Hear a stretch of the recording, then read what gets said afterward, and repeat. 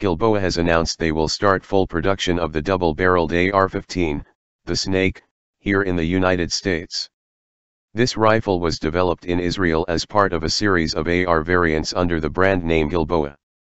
When a pair of 1.6 barrels are attached, this twin-trigger rifle is legal for civilian use without a tax stamp. History of the double-barrel AR-15 The concept of a double-barreled rifle isn't new. Similar weapon prototypes were built in the 1950s and 1960s to fire multiple bullets at the same time or in rapid bursts known as salvo fire.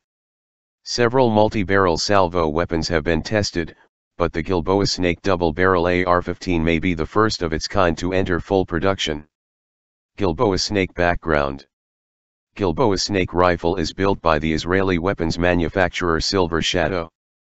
It is available as a semi-automatic civilian rifle and a selective fire model for military and law enforcement. The select fire variant has a pair of barrels connected to one gas block with a manual regulator. A single piston running between the barrels synchronizes the separate bolt carriers. The civilian variant features a pair of separate and independent gas blocks and pistons.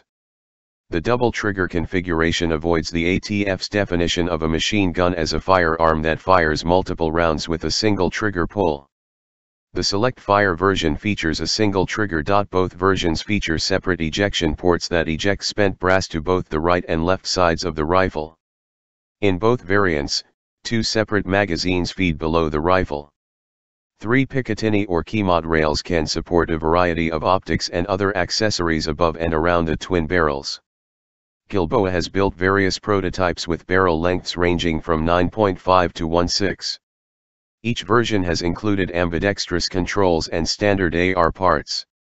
Specifications Caliber, .223 rem. Weight, empty 10 pounds, 13 ounces, 4.9 kilograms. Barrel length, 9.5, 11.5, or 1.6. MSRP, $2,200, $2,400. See the double barrel AR-15 on the range. Guns and Ammo got their hands on an early model back in 2014. Take a closer look at this unique rifle and see it in action with the video below.